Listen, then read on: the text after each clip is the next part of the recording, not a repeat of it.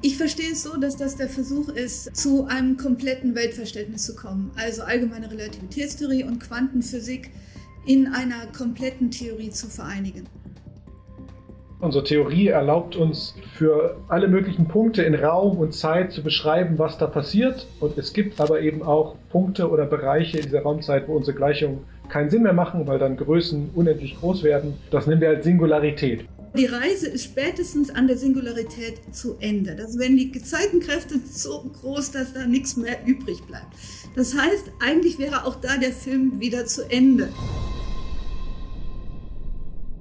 Herzlich willkommen zum zweiten Teil unserer Folge Wissenschaftler reagieren auf Interstellar. Falls ihr den ersten Teil noch nicht gesehen habt, dann könnt ihr das jetzt gerne in der Videobeschreibung nachholen. Bei mir auf dem Kanal bei Dr. Watson gibt es den ersten Teil zu sehen. Da haben wir schon ganz viel über Wurmlöcher gesprochen und über Gravitationsanomalien. Heute, jetzt in diesem zweiten Teil, geht es ganz viel um schwarze Löcher, um die Singularität, um die fünfte Dimension. Ich bin schon sehr, sehr gespannt, was unsere beiden ExpertInnen und Experten dazu sagen. Das ist zum einen Dr. Silke Britzen vom Max-Planck-Institut für Radioastronomie Astronomie in Bonn und Dr. Frank Ohme vom Max-Planck-Institut für Gravitationsphysik in Hannover. Und falls ihr den Film Interstellar jetzt noch nicht gesehen habt, eure letzte Chance. Wir reden jetzt gleich über das Ende des Films und über ganz viele Szenen im Film, die spät kommen. Also wenn ihr nicht gespoilert werden wollt, dann schaut euch den Film vorher nochmal an. Und auch falls ihr den Film das letzte Mal damals im Kino gesehen habt, vor sieben Jahren, ist jetzt, glaube ich, nochmal ein guter Zeitpunkt, um das mit dem Film nachzuholen. Herzlich willkommen, ähm, schön, dass ihr beide wieder dabei seid und die Zeit gefunden habt. Ähm, vielen Dank. Der erste Teil war schon super, super spannend. Wir haben über Zeitdilatation gesprochen, wir haben über Wurmlöcher gesprochen, wir haben ganz viel über Kip Thorne gesprochen und seinen Approach bei Interstellar. Und ich glaube, wir haben den immer nur namentlich erwähnt. Aber wer ist denn eigentlich Kip Thorne und was hat, was hat er mit Interstellar zu tun? Ja, also Kip Thorne ist erstmal Professor für, für Physik ähm, am Caltech, am California Institute of Technology, äh, mittlerweile auch Nobelpreisträger für die Entdeckung von Gravitationswellen und seine theoretische Arbeit dazu. Und äh, in Interstellar hat er halt äh, als Produzent, glaube ich, äh, hat er also mitgewirkt und war natürlich der wissenschaftliche ähm, Advisor äh, für das Filmteam. Also der hat tatsächlich viele der Gleichungen aufgestellt und, und ähm, die Leute, die daran arbeiten, also darin angewiesen, wie das jetzt äh, wissenschaftlich korrekt äh, alles auszusehen und abzu abzulaufen hat. Ich glaube, wir können generell sagen, dass wir den Film sehr, sehr gerne mögen und generell davon beeindruckt sind, wie wissenschaftlich akkurat er ist. Ja, kann man so sagen. Definitiv. Unglaublich. Jetzt geht es aber quasi um das eigentliche super spannende, nämlich Gargantua. Also der Planet von Dr. Miller, der Wasserplanet, ist natürlich super spannend. Mit der Zeitdilatation von einer Stunde sind sieben Jahre, da haben wir schon drüber gesprochen. Aber so wirklich das Herzstück von allem ist ja tatsächlich das große schwarze Loch in der Mitte von diesem System. Als allererstes wollte ich dann nochmal zu gefragt haben, gibt es das tatsächlich auch in der Realität, dass es Systeme gibt, wo Planeten um schwarze Löcher herumkreisen? Soweit ich weiß, wissen wir noch von keinem, aber im Prinzip kann es möglich sein. Wenn es eine Aggressionsscheibe hat und wirklich eine heiße Aggressionsscheibe, die Röntgenstrahlung, Gammastrahlung emittiert, dann ist es sicherlich keine gesunde Umgebung für die Planeten da. Wenn es nicht emittiert, ist es verflucht kalt und ähm, dunkel. Also Planeten könnten vermutlich da sein, aber ob, ob die habitabel sind, das ist, eine, das ist eine ganz andere Geschichte, denke ich. Aber grundsätzlich müssen wir mal festhalten, dass das Universum voller schwarzer Löcher ist. Also das wissen wir jetzt schon nicht. Im Zentrum von Galaxien, vielleicht in jeder oder fast jeder, sind äh, schwarze Löcher. Äh, wir wissen auch, dass kleinere, kleinere schwarze Löcher, die immer noch, weiß ich nicht, 30, 40 Sonnenmassen haben, gibt es auch ganz, ganz viele im Universum. Also schwarze Löcher gibt es überall. Also im Prinzip, warum nicht? mit den Schwierigkeiten für, für Leben natürlich auf dem Planeten, die Silke gerade schon genannt hat. Aber denkbar ist das schon. Also, wir gucken jetzt die nächste Szene vom Film. Die Crew guckt sich das äh, schwarze Loch an, Gargantua. Erstmal, es sieht visuell wunderschön aus. Ich habe gehört, dass tatsächlich zwei wissenschaftliche Paper zu dieser Simulation, zu diesem schwarzen Loch geschrieben wurde. Denn es wurde tatsächlich simuliert. Es ist keine künstlerische also natürlich ist eine künstlerische Darstellung irgendwo, aber es ist, hat niemand ausgedacht, sondern es wurde tatsächlich eine Computersimulation entworfen, um dieses schwarze Loch darzustellen. Und da ist tatsächlich richtige Wissenschaft bei rumgekommen für diesen Hollywood-Film. Silke, du, du nix schon so viel, du hast da, glaube ich, viel zu, zu sagen. Ja, also zunächst mal, ich war, ich war hin und weg von, von diesem Bild. Also das war ja bevor wir das Bild des äh, Schattens des Schwarzen Lochs gemacht haben. Und ähm, da war noch die Überlegung, wie sieht sowas aus? Ich arbeite da in der Event Horizon Teleskop Kollaboration, da werden jede Menge Bilder gemacht, da werden Simulationen gerechnet, aber wir haben natürlich nicht die Hollywood-Möglichkeiten. Und ähm, ich glaube, mit dem Budget in Hollywood und ähm, ist das schon eine andere Geschichte. Also damals ähm, war das wirklich eine fantastische Darstellung, fantastische Simulation, wo man Lichtstrahlen in Richtung eines schwarzen Lochs schickt und dann guckt, was die Raumzeitkrümmung daraus macht. Und daraus entsteht dieses Bild, die Akkretionsscheibe äh, wird nach oben geklappt, wird nach unten geklappt. Also man hat diese ganzen relativistischen Effekte und das sieht fantastisch ähm, aus. Also ich war wirklich begeistert davon. Es wurde ein bisschen angepasst für den Zuschauer, es wurde noch ein bisschen ähm, attraktiver für den Zuschauer gemacht. Also soweit ich weiß, hat man Effekte rausgenommen. Also es rotiert nicht mehr ganz so schnell. Dadurch ist diese Abplattung auf der einen Seite weg, also dadurch wirkt es runder. Dann hat man den Doppler-Effekt rausgenommen. Der eine Teil der Akkretionsscheibe kommt auf uns zu, der andere geht von uns weg. Dadurch wäre die eine Seite heller als die andere. Das wollte man dem Zuschauer wohl, glaube ich, auch nicht zumuten. Also dieser Effekt ist raus. Dann hat man die Akkretionsscheibe, glaube ich, noch ein bisschen geschönt, an ein paar Stellen dicker gemacht und nach außen dicker gemacht. Was ich auch besonders schön finde, ist es diese Strahlen. Also hat ja fast so einen Heiligenschein, dieses, dieses Bild. Und äh, durch die Streuung der Teilchen. Also ich finde, ähm, es sieht schon fantastisch aus. Also ich bin immer noch begeistert von, von dieser Darstellung, auch wenn wir inzwischen ein echtes Foto haben. Aber dennoch ähm, ist eine super Leistung ich war sowas von hin und weg. Ähm, und es hat mich echt nochmal noch mal bestärkt und befeuert zu sagen, Space und schwarze Löcher sind super, super cool. Glaubt ihr, ihr, ihr bekommt neue Kollegen in Zukunft, weil dieser Film existiert? Leute, die extra schwarze Löcher studieren wollen, weil es Interstellar gibt? Also unmöglich ist das nicht. Also tatsächlich äh, stelle ich seit Jahren fest, dass ähm, also beispielsweise forschen wir mit Supercomputern an der Kollision von schwarzen Löchern. Und allein die, die Wörter Supercomputer und schwarze Löcher die faszinieren viele Leute und damit kriegen wir tatsächlich auch ähm, viele Interessenten. Einerseits für öffentliche Vorträge, aber auch Studenten, die tatsächlich zu uns kommen und sagen, schwarze Löcher fand ich schon immer spannend, ich will da mal mehr darüber erfahren. Und wa warum nicht, nicht? Also da, da, hilft natürlich auch so ein Film dabei, die, die Faszination irgendwie zu, zu befeuern. Erst recht, wenn er auf Grundlage von echten physikalischen Gesetzen berechnet wurde. Okay, dann schwarze Löcher, das große Faszinosum. Lass uns drüber sprechen. Zum ersten Mal wurde ja gerade gesagt, nichts kann diesem schwarzen Loch wieder entkommen, nicht einmal Licht. Wo ich ja das Gefühl habe, dass das ganz oft falsch verstanden wird, weil viele Leute denken, glaube ich, daran, dass dann das Licht aufgrund der Gravitation nicht mehr entkommen kann. Aber das stimmt ja gar nicht so direkt, oder? Na, da muss man sich erstmal fragen, was ist denn Gravitation? Man muss erstmal die Vorstellung aufgeben, dass es irgendeine so magische Kraft ist, die Newton beschrieben hat äh, zwischen, zwischen Dingen sondern Gravitation ist ja nur das, was wir sehen, aufgrund dessen, dass Raum und Zeit gekrümmt sind. Und wenn die Krümmung halt stark genug ist, dann ist es eben so, dass es so eine Art Trichter ergibt in einem gekrümmten Raum, dass wenn man zu weit drin ist, kann man nicht mehr, kann man nicht mehr rauskrabbeln. Und das gilt dann für Licht, das gilt, das gilt für alles und so funktioniert ein schwarzes Loch. Der eigene Horizont selber ist jetzt nichts, was ich anfassen kann. Da ist der Raum jetzt nicht besonders, außer dass die Krümmung dann natürlich so stark wird, dass eben nichts mehr raus, rauskommen kann. Das ist schon Gravitation, aber wie gesagt mit einem kleinen Sternchen dran, dass Gravitation eben Raumzeitkrümmung ist. Ich habe ich, ich wusste das. Also, wenn man sich mit schwarzen Löchern beschäftigt, dann weiß man, dass da kommt nichts mehr raus. Ja? Aber ähm, als wir dann dieses Bild gemacht haben von M87, von dem Schatten des schwarzen Lochs, und ich habe an der Kartierung äh, mitgearbeitet, das heißt, ich habe selber diese Daten bearbeitet und habe das Bild von M87 gemacht. Und ich habe auf meinem Computer gesehen, da ist ein Bild, da ist es im Zentrum dunkel. Und ich habe gesagt, ich habe irgendwas falsch gemacht. Es muss hell sein. Ja? Also alle Quellen, die wir vorher hatten, waren im Zentrum hell. Aber nur weil wir nie an den, wirklich mit der Auflösung an den Schatten rangekommen sind. Deswegen war es hell und es war Jet-Emission. Es hat eine Weile gedauert, bis ich gemerkt habe, Moment mal, das ist wirklich dunkel, weil da nichts rauskommt. Das ist dunkel, weil das der Schatten des schwarzen Lochs ist. Das ist ähm, super faszinierend. Das ist eine sehr spannende Geschichte. Dann gucken wir uns mal äh, eine Szene aus dem Film an. Das war jetzt die für uns nächste. Cooper hat gerade äh, ganz, ganz viele Jahre seines Lebens auf der Erde verloren. Er hat gerade nur ein, zwei Stunden auf dem Planeten von Miller verbracht, aber seine Tochter ist inzwischen wesentlich älter und er fragt sich jetzt gerade, kann ich in ein Loch, schwarzes Loch hineinspringen, um in der Zeit zurückzuspringen? Und Dr. Brandt sagt ihm, äh, nein, es geht nicht. Zeit ist relativ, Albert Einstein. Man kann sie dehnen, aber man kann sie nicht umdrehen. Der Pfeil, des, der Pfeil der Zeit zeigt immer vorwärts. Das Einzige, was sich durch, den, durch, durch Dimensionen wie die Zeit bewegen kann, ist Gravitation. Das habe ich nicht so ganz nachvollziehen können. Äh, ist das richtig? Ist das eine komische Interpretation von Hollywood oder ist das totaler Quatsch? Nach der klassischen Theorie gibt es vier Dimensionen, drei davon sind Raum, eine ist Zeit. Und durch den Raum können wir uns alle hin und her bewegen. Ne? Also durch diese Dimension können wir uns alle vor und zurück bewegen. Also da weiß ich jetzt nicht, was da jetzt besonders sein kann.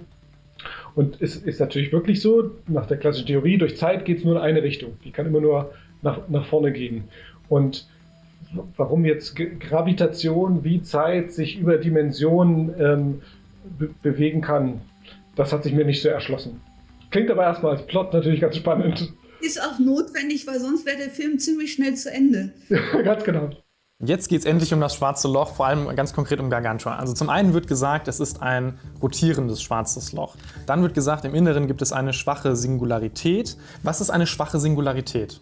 Das war genau das, was äh, ich jetzt neu gelernt habe, dass es zu der eigentlichen Singularität im Kern des schwarzen Lochs noch eine einfallende Singularität äh, geben kann durch Material, was hineinfällt und eine rausströmende Singularität durch Material, was bereits vorher reingefallen wird und reflektiert wird und dann Zeitverlangsamung, dann entsteht so eine Schockfront, wenn ich das richtig verstanden habe. Und diese Schockfront ist gemeint. Und da sind die Gezeitenkräfte nicht so schlimm, als wenn man bis runter zur eigentlichen Singularität fallen würde. Das heißt, die Hoffnung ist, dass man das überleben kann. Und dann wird über den Ereignishorizont gesprochen. Es wird gesagt, mit einer Sonde könnte man wohl am Ereignishorizont eigentlich wird gesagt hindurch und dann wieder hinaus. Man kann Quantendaten herausschicken und ähm, da wollte ich jetzt unbedingt drüber sprechen, weil also ich habe ganz, ganz viele Fragen. Äh, vielleicht sagt ihr erstmal was zu der Szene. Also ich glaube, das ist die zentrale Stelle ähm, von dem Film auch. Ja. Ab dem Ereignishorizont fällt alles hinein und es kommt nichts mehr heraus. Also ab da hat man diese Einbahnstraße. Und wenn jetzt jemand reinfällt, passiert er den Ereignishorizont und wird es nicht merken. Also wird einfach durchfallen aber die Reise ist spätestens an der Singularität zu Ende. Das werden die Gezeitenkräfte so groß, dass da nichts mehr übrig bleibt. Das heißt, eigentlich wäre auch da der Film wieder zu Ende. Aber dann kommt der Punkt, wenn ich das richtig verstanden habe, ähm, wird es angedeutet in dieser Szene, die wir eben gesehen haben, dass ähm, die Gezeitenkräfte nicht so stark sind. Also das kann man überleben. Auf der anderen Seite, ganz wichtig, glaube ich, ist hier, ähm, Einsteins allgemeine Relativitätstheorie beschreibt die Physik quasi bis zum Ereignishorizont. So, ähm, ob es wirklich diese Singularität gibt und welche Physik diese Singularität oder die Singularitäten beschreibt, äh, ist nur eine ungeklärte Frage. Und eigentlich ist die Idee, und die wird auch in dem äh, Film ja immer wieder angedeutet, dass wir Quantenphysik für die Beschreibung der Singularität, also diese unendliche Raumzeitkrümmung da benötigen. Und um das gesamte schwarze Loch beschreiben zu können, physikalisch, realistisch beschreiben zu können, bräuchte man eine Kombination von allgemeiner Relativitätstheorie und Quantentheorie, eine sogenannte Quantengravitation. Die gibt es noch nicht, soweit ich weiß. Es gibt tatsächlich Theorien, ähm, die vermuten, wenn das, ähm, das Innere von einem schwarzen Loch durch äh, quantenphysikalische Effekte erklärbar wäre, dass es dann möglich wäre, dass diese Quanteneffekte am Ereignishorizont so rausliegen könnten. Also eine Hoffnung ist es auch für uns, dass wenn wir den Ereignishorizont jetzt in noch höherer Auflösung untersuchen können, also den Schatten des schwarzen Lochs und den Rand, dass wir, wenn wir ganz viel Glück haben, vielleicht Quanteneffekte sehen können, die uns Aufschluss über die Physik jenseits des Ereignishorizonts liefern würden. Ah, und das meint er mit Quantendaten? Also er redet von, von Quantendaten aus dem Zentrum, der, des schwarzen Lochs, wirklich von der Singularität. Ich rede von der realen Welt, ähm, was wir beobachten können, und da bleiben wir am Ereignishorizont. Wir können nicht jenseits des Ereignishorizonts schauen. Im Film geht es ganz, ganz viel darum, die Gravitationsgleichung zu, ähm, zu lösen und eine Lösung für Gravitation zu finden. Ähm, es wird auch gesagt im selben Satz, man kann Relativität nicht mit Quantenmechanik verbinden. Das stimmt ja auch, da sind wir ja gerade. Aber was ist denn die Gravitationsgleichung? Und würde man wirklich, sobald man in ein schwarzes Loch hineinfliegt, dann die Lösung finden, sobald man auf die Singularität drauf guckt? Also, ich glaube nicht. Wenn ich mir jetzt, wenn ich mir jetzt meinen Tisch angucke, verstehe ich auch nicht plötzlich Teilchenphysik oder Quantenphysik, obwohl es im Prinzip natürlich die Information zugänglich ist. Äh, also das Gleiche, glaube ich, wäre auch im Inneren des schwarzen Lochs. Nur, dass man reinfliegt, man sieht das ja jetzt nicht plötzlich, leuchtet jetzt nicht die Gleichung vor ihm auf, aber man hat jetzt im Prinzip Zugang zu einem Bereich, äh, der vorher eben nicht zugänglich war. Und gut, der Roboter fliegt ja zum Glück mit rein. Der, glaube ich, macht dann die harte Arbeit. So habe ich den Film zumindest verstanden. Also der nimmt das dann alles auf und misst die Strahlung und was auch immer und kann das dann an Cooper weitergeben. Ähm, ich glaube jetzt so als Mensch, der, der reinfliegt, da gibt es jetzt also keinen Heureka-Moment, nur weil man plötzlich über den Ereignishorizont tritt. Leider. Ja. ah, ich verstehe ja. auf einmal. Genau, das, das, hatte, das hatte mich so ein bisschen verwirrt. Ich meine, also kann ich mir schon vorstellen, vor allem weil der eine Kollege aus der Crew, der hat ja 40 Jahre lang das Schwarze Loch von außen untersucht und ihm fehlt ja quasi nur noch die Singularität, war jetzt so ein bisschen die Aussage des Films.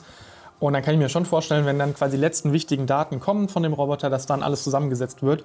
Aber trotzdem nochmal die Frage, gibt's gerade eine, fehlt uns gerade die Gravitationsgleichung? Ich habe das so in dem Film verstanden, dass es um die Quantengravitationsgleichung geht, also die Vereinigung von allgemeiner Relativitätstheorie und, und Quantenphysik. Und die ist tatsächlich, gibt es noch nicht. Also von daher habe ich es so verstanden, dass es darum geht. Okay, und das ist auch tatsächlich das, was die Wissenschaft jetzt gerade am ehesten versucht, diese beiden Welten miteinander zu verheiraten. Genau, das ist eben so eine Gleichung, die fehlt uns noch. Und wie gesagt, man hört ja manchmal populärwissenschaftlich die Weltformel. Ne? Also uns fehlt noch so eine schöne Gleichung wie die Einstein-Gleichung oder wie die Maxwell-Gleichung für Elektromagnetismus, die einfach na, ein Naturgesetz und aus dem fällt dann alles ab. Ähm, ja, das fehlt uns eben noch. Und im Optimalfall ist sie super simpel. Ganz genau. Null gleich Null. Also es wird danach von einer nackten Singularität gesprochen. Was ist eine nackte Singularität? Wenn das schwarze Loch schneller rotiert als äh, maximaler Spin, dann äh, verschwindet der Ereignishorizont und man müsste eigentlich auf die Singularität direkt drauf schauen können. So. Das heißt, die wäre nicht mehr verborgen. Wir hatten das Problem nicht mehr, dass da irgendwas versteckt ist, wo wir keinen Zugang haben. Man könnte direkt draufschauen und sie direkt untersuchen. Aber es gibt Theoretiker, die arbeiten daran, überlegen, ob es tatsächlich sowas im Universum geben kann. Aber beobachtet worden ist das noch nicht. Also von daher, von der Beobachterseite äh, würde ich sagen, gibt es nicht.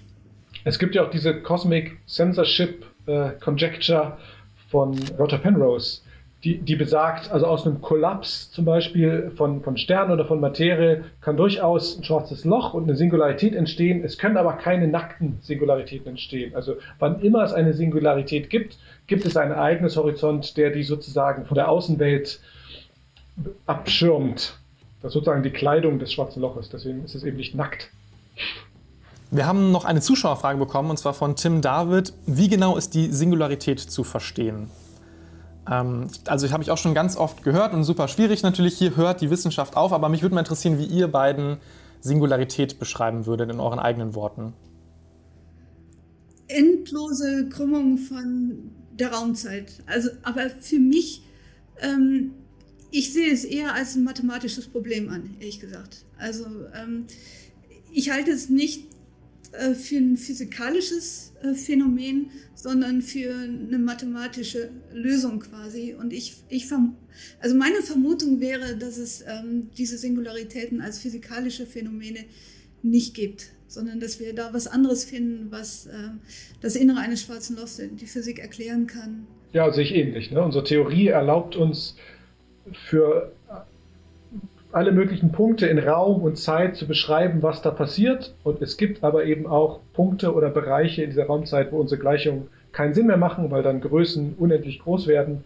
Und dort, das nennen wir als Singularität, weil dort, ja, dort, dort funktioniert einfach, die, die Gleichungen brechen dort zusammen. Es funktioniert einfach nicht mehr. Okay.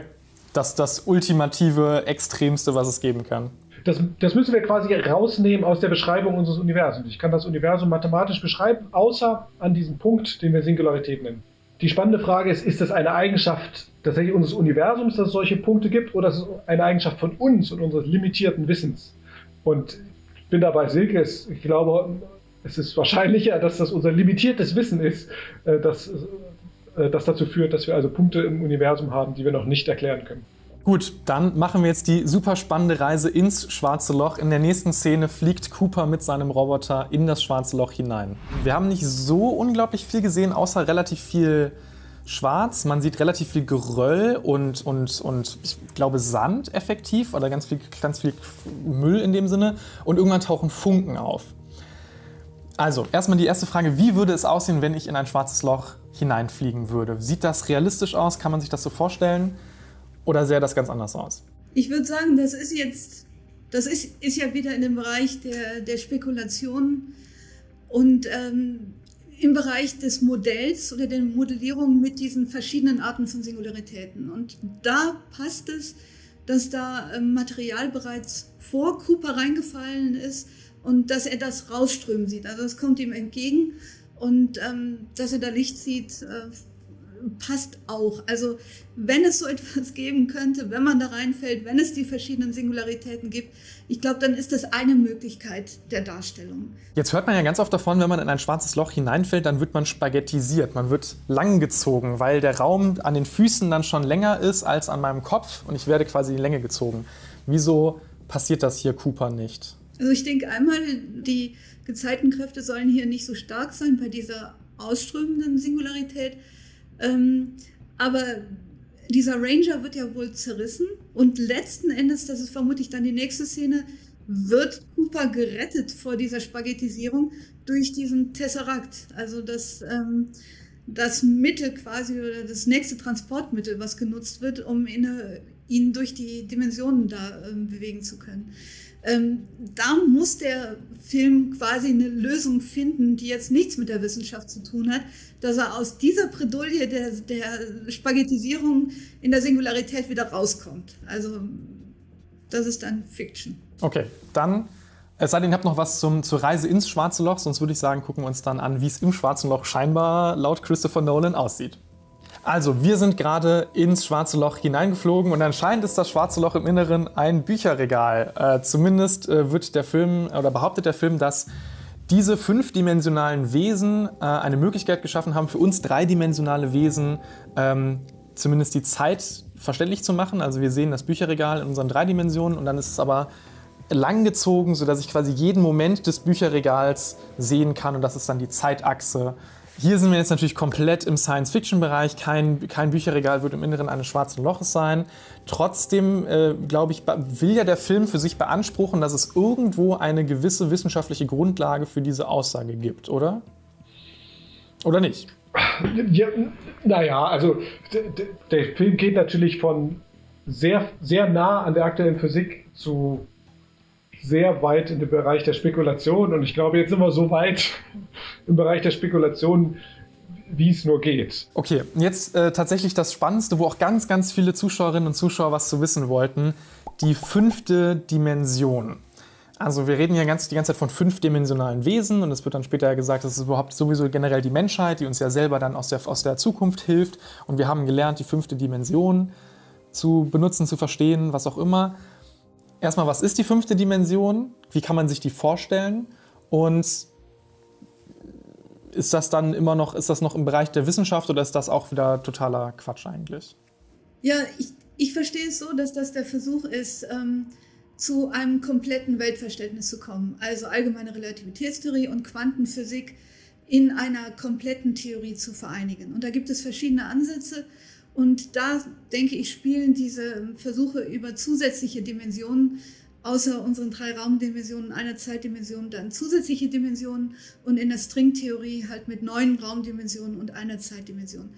Ähm, von einigen Kollegen weiß ich, dass sich manches einfach leichter rechnen lässt, wenn man eine weitere Dimension dazu nimmt. Ich habe das nicht wirklich ähm, verstanden, aber man kann wohl Prozesse veranschaulichen, wenn man zusätzliche Dimensionen dazu nimmt. Und ich sehe es mehr so als ein Werkzeug, um Prozesse verstehen zu können, indem man mit mehreren Dimensionen rechnet. Aber wie ich mir jetzt selber eine, eine weitere Dimension vorstellen würde, ähm, ich finde es gut gelöst in Interstellar. Ähm, ich glaube, ich wäre eher aufs Denken ausgewichen, also über unseren Geist. Aber wie man das jetzt hätte anschaulich äh, darstellen können, wüsste ich auch nicht. An sich finde ich das auch gut gemacht. Es ist ja die, diese weitere Dimension ist im Grunde auch so ein Catch-all, so ein Konzept von etwas, was wir eben im Moment noch gar nicht greifen können. Ne? Also wir können, wir haben halt Zugang zu den vier Dimensionen, drei Raum, eine Zeit, die können wir erleben aber wer sagt denn, dass nicht ähm, die Welt eigentlich aus höheren Dimensionen besteht, aus mehr Dimensionen und äh, viele von denen sind einfach für uns nicht so zugänglich.